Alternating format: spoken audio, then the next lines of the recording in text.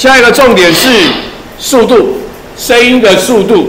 刚才讲过说固态、液态、气态都可以传声音，可是速度不一样，基本上是固态大于液态大于气态，这并不是百分百正确。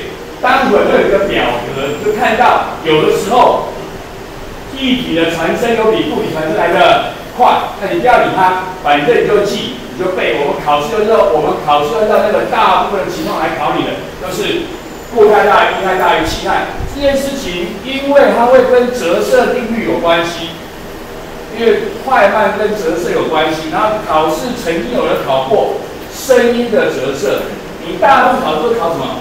光的折射，对不对？可是有人考过声音的折射，那你就要晓得到底谁传声比较快，谁传声比较慢。基本上教授，固体大于液体大于。气的背这就可以了。那么我们教的是空气传声音。那空气传声音刚讲过了，波速跟介质的种类及状态有关。那我都是空气，种类一样。状态呢？状态呢？那就有一些这些状况：高温的、湿度大的，就湿度大的，风速快且顺风的时候，声速比较快。我们基本上很少人去扯所谓的顺风啊，有人偶尔会有人问，但是很少。好，湿度大几乎没有人问过这件事情。但重点是什么？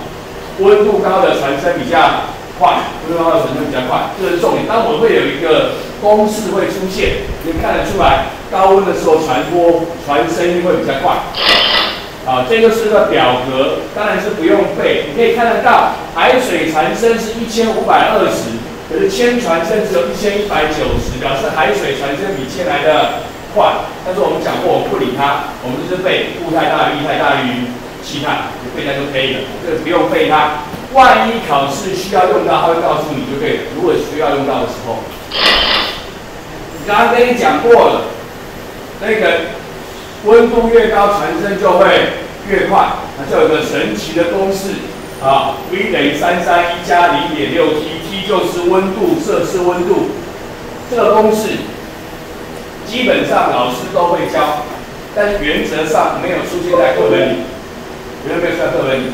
学测也考过，因为学测呢考的就是给上面这个东西，就上面给你讲一些话，你自然就知道那个 V 等于三加一加零点六 T，你就算算数字多多少分钟算出来，OK。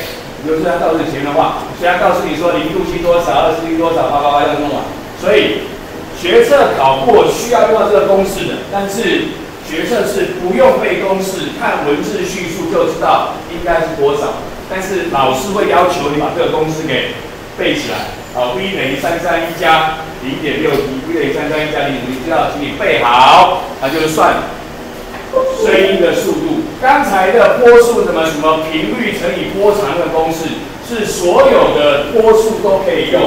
这个公式只用在空气传声音的速度，OK，背好。然后呢，要请你注意两件事，我们在八年级跟各位强调过，那我也讲过，好多考试题目都要用到它。第一，同一个介质传任何声音速度都一样，波速只跟介质的种类及状态有关，所以介质一样，速度就会一样。同样的空气，大声的、小声的、高音的、低音的，讲话很快的、讲话很慢的，声速通通都一样，叫做同一个介质传任何声音，声速都一样。下一个叫做同一个声音在任何介质传播频率都一样。这个房间前面热一点，后面冷一点，你这边弹一个哆传出去，大家都听到都是哆。不会前面的热就变成拉啊，不会这样，大家都都都一样。这句话对于光也是一样，对于光也是一样。我是红色光，我穿过空气是红色光，我穿过玻璃是红色光，我知道水里面还是红色光。好，介质不一样，可是光波的频率是一样，对，跟这声一样，同一个声音在任何介质传播频率相同。这两个事情，请你背好，请你知道，请你记住。很多的题目就要用到这个观念：同一个介质传任何声波，声速一样；同一个声音在任何界的传播频率一样。这两个重点的注意事项，请你记好。